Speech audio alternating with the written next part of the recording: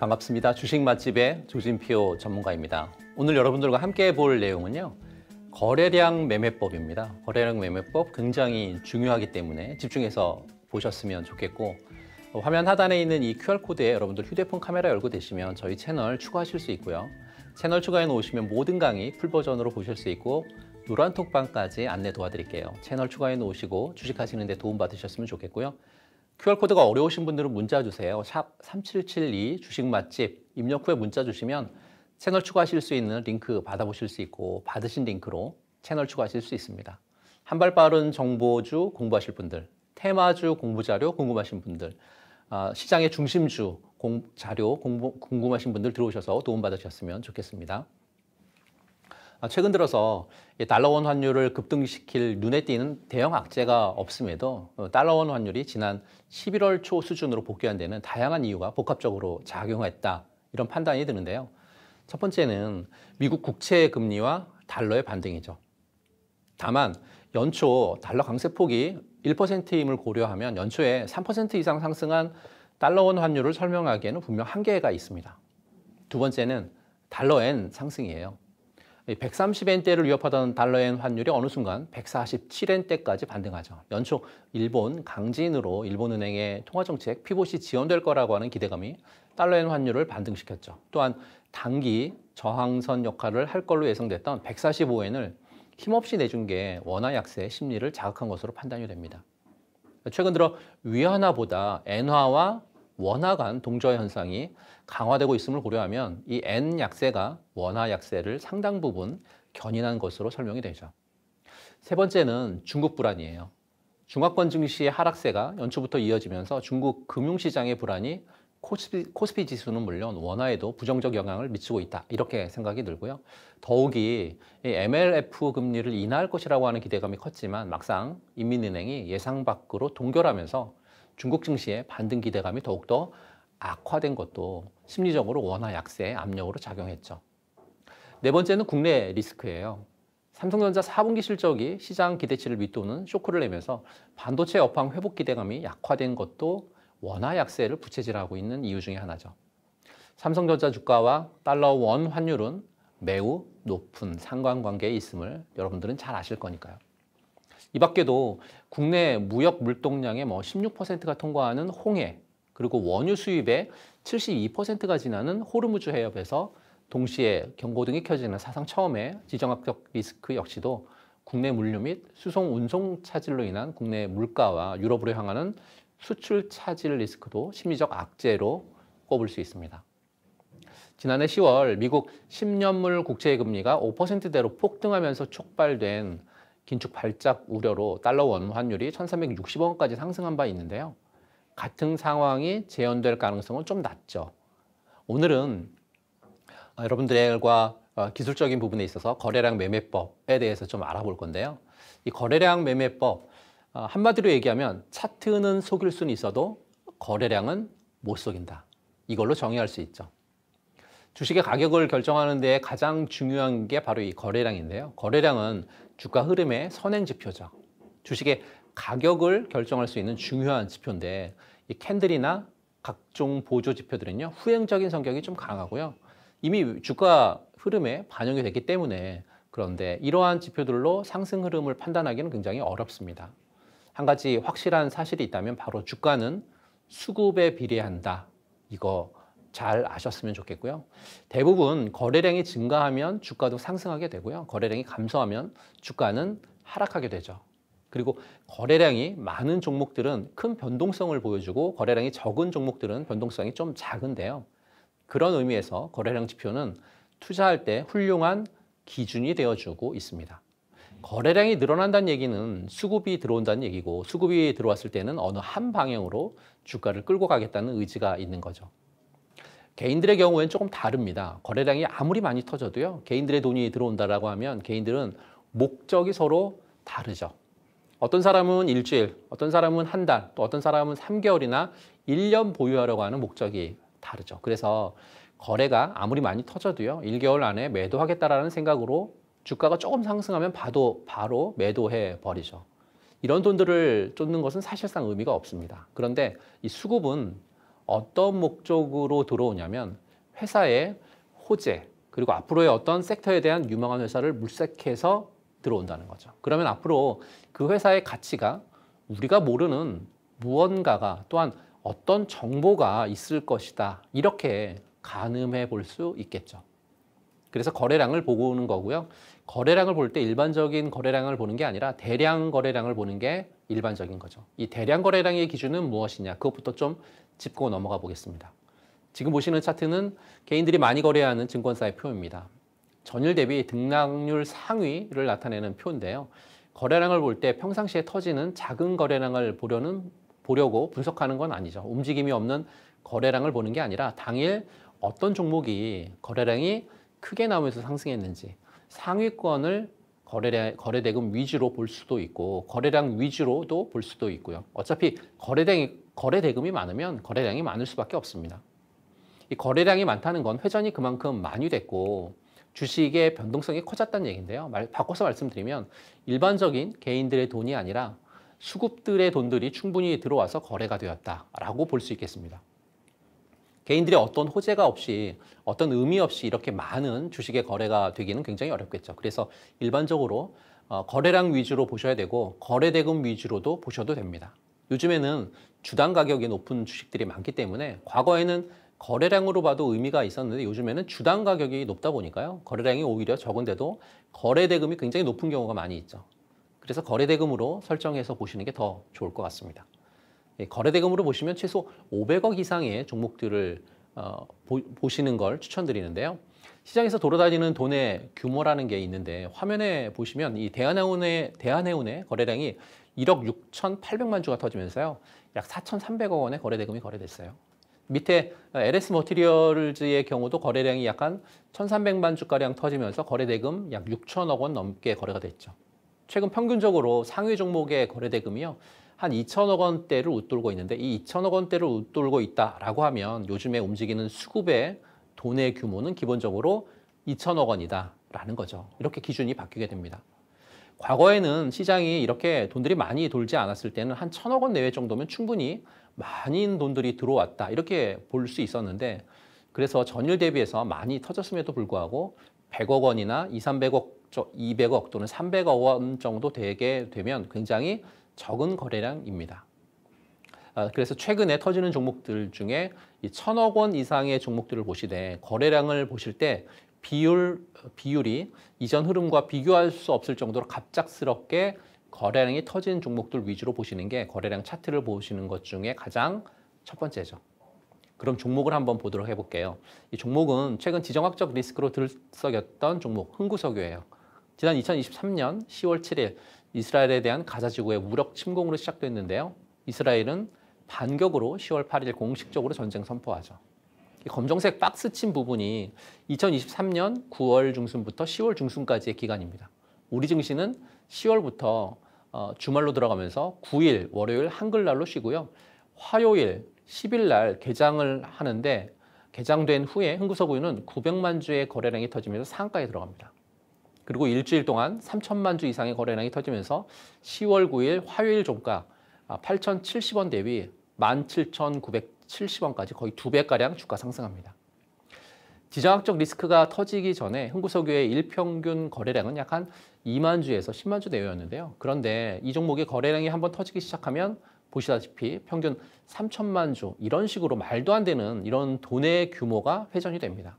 이런 종목이 수급주라고 볼 수 있습니다. 아래에서 매수하고 뉴스나 이슈를 계속 띄우면서 주가가 올라가면서 아래에서 매수한 자금을 조금씩 매도하면서 올라갈 때마다 매매를 반복하죠. 정리해보면 첫 번째는 거래 비율인데요. 이 거래 비율이 평상시에는 흥구석이라고 하는 종목은 2만 주, 10만 주 정도밖에 안 됐는데 한번 거래가 터질 때 한번 개입을 하면 평균 3천만 주씩 거래량이 발생한다는 거죠.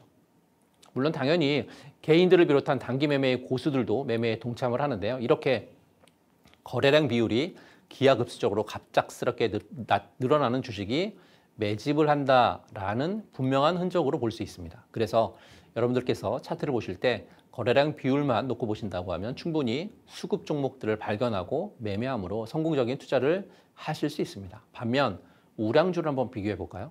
우량주 비교하기 전에 화면 하단에 있는 이 QR코드에 여러분들 휴대폰 카메라 열고 대시면 저희 채널 추가하실 수 있고 채널 추가해 놓으신 이후에 노란톡방까지 안내 도와드릴게요. 채널 추가해 놓으시고 주식하면서 도움 받으셨으면 좋겠고요.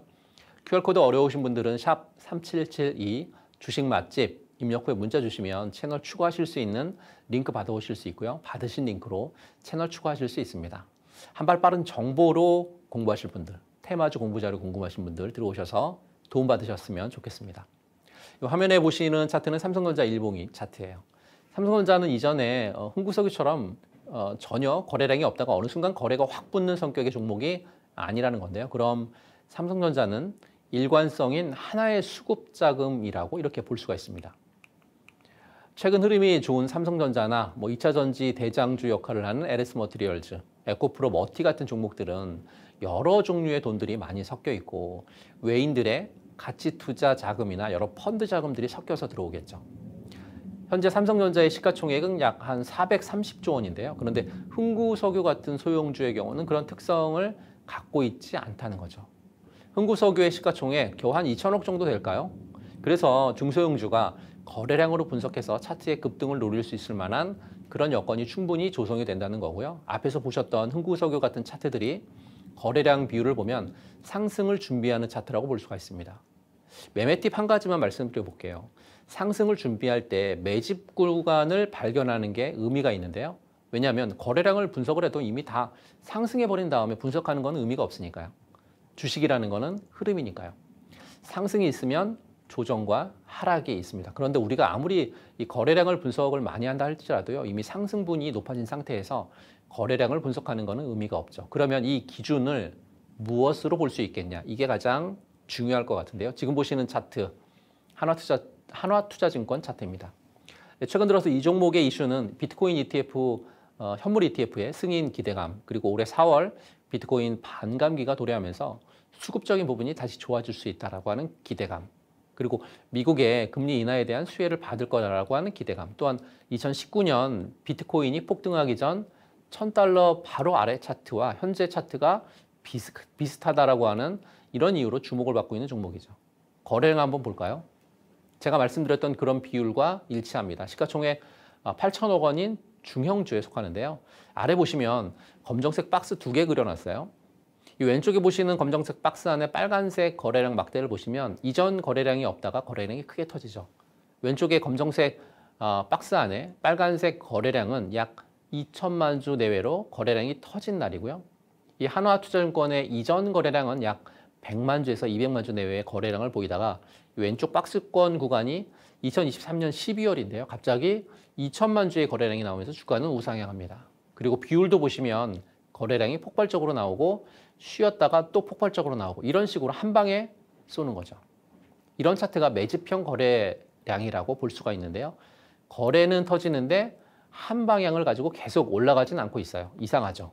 거래가 많이 터지고 돈들이 많이 들어오면 방향성을 가지고 올라가야 하는데 그렇지 않고 오히려 하락하듯이 주가는 빠져버리고 다시 횡보합니다. 그리고 보합권에서 며칠의 기간을 거친 후 그 다음에 거래가 급격히 터지면서 가고 있다는 거죠. 그럼 이번엔 오른쪽에 검정색 친 박스 부분을 한번 볼까요?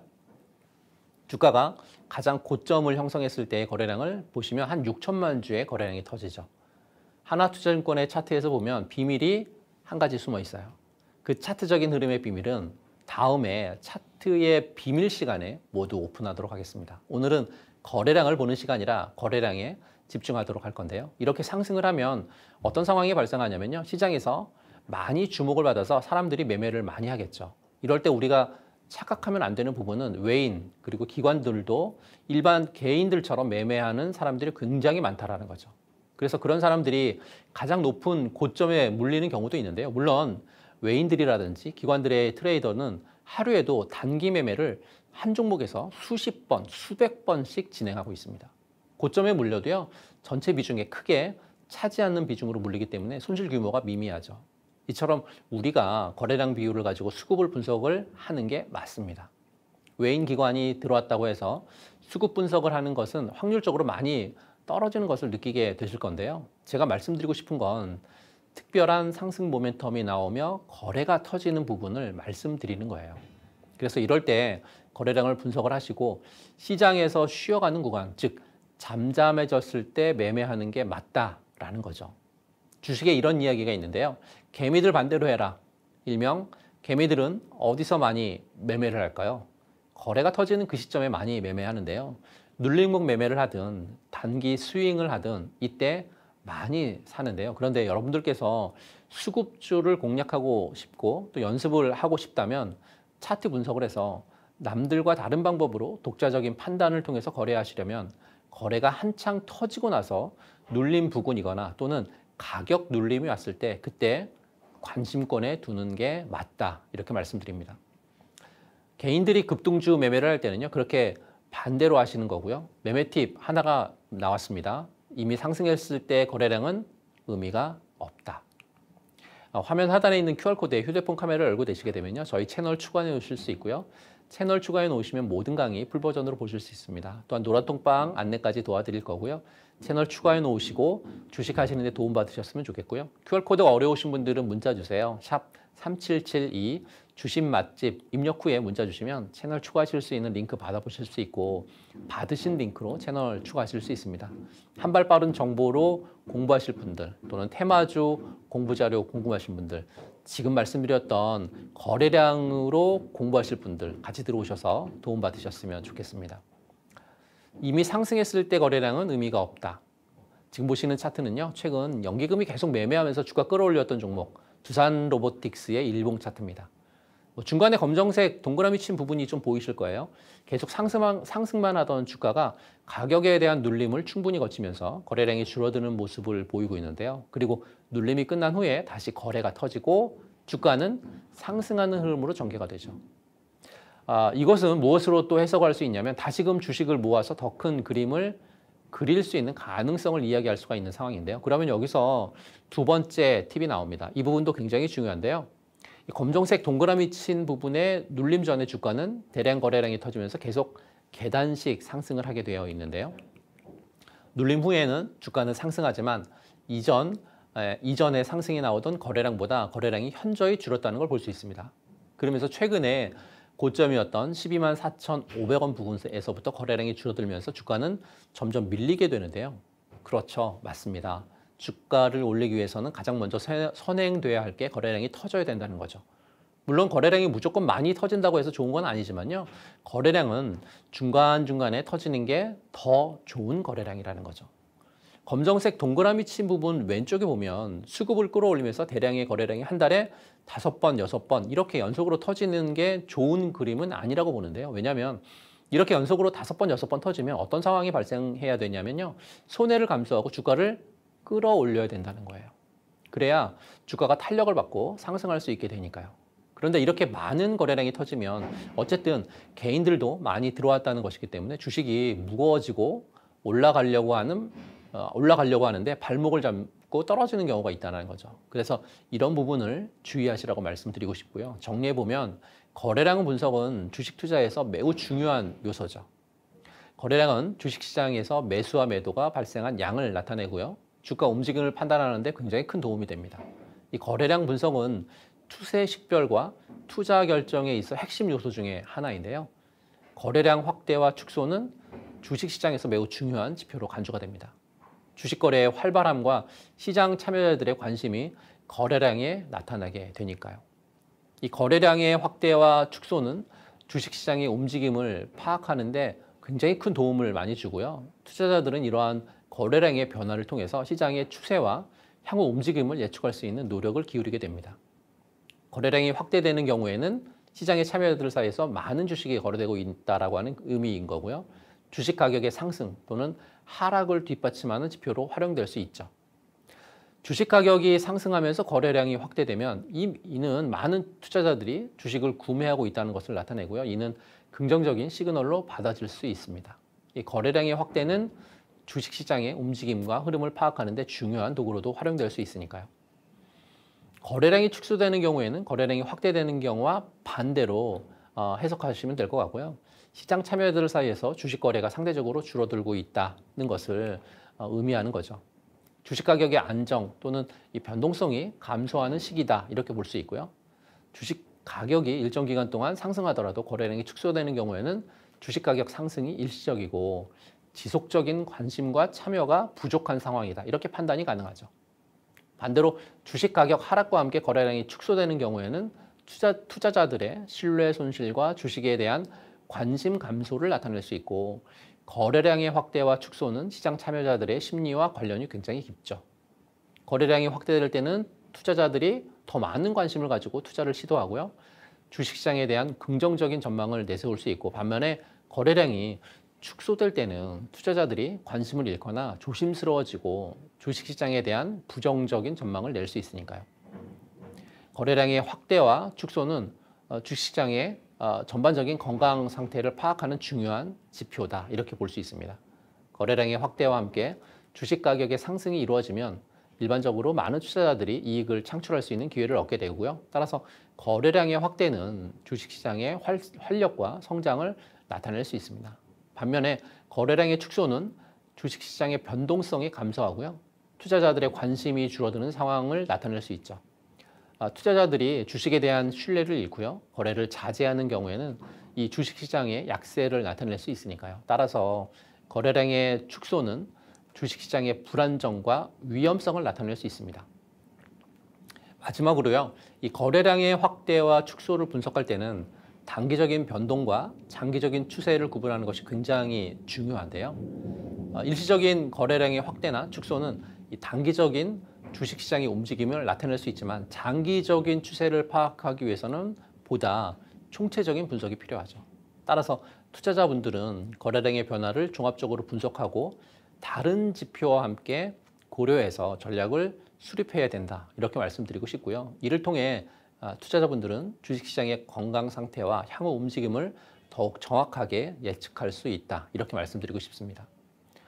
오늘 내용을 정리하는 차원에서 거래량 분석을 통해 추세를 식별하는 몇 가지 방법 말씀드렸고요. 일반적으로 다음과 같은 방법으로 추세를 좀 식별할 수 있는데요. 첫 번째는 주식 가격이 상승하는 경우 거래량도 증가하면 상승 추세의 강도가 높다는 신호. 그렇죠, 맞습니다. 어, 두 번째는요. 어, 가격 조정이 오게 되면 거래량 감소, 관심이 줄어드는 신호로 해석 가능하고요. 세 번째는 거래량의 특정한 패턴을 분석해서 추세를 예측할 수 있고요. 네 번째는 가격과 거래량이 일반적으로 유지가 된다면 추세의 지속성을 나타낼 수 있다. 이렇게 보시면 좋을 것 같습니다. 오늘 거래량 관련되어서 여러분들과 영상으로 만나봤는데요. 화면 하단에 있는 QR코드에 여러분 휴대폰 카메라 열고 대시게 되면 저희 채널 추가해 놓으실 수 있고 채널 추가해 놓으시면 노란 톡방까지 안내 도와드릴게요. QR코드 어려우신 분들은 문자 주세요. 샵 3772 주식 맛집 입력 후에 문자 주시면 채널 추가하실 수 있는 링크 보내드릴 겁니다. 링크 통해서 노란톡방 안으로 들어오시면 되고요. 한 발 빠른 정보로 공부하실 분들 또는 테마주 공부하자료 공부하실 분들 저와 함께 같이 노란톡방 안에서 공부하셨으면 좋겠습니다. 지금까지 저는 주식 맛집의 조진표 전문가였습니다.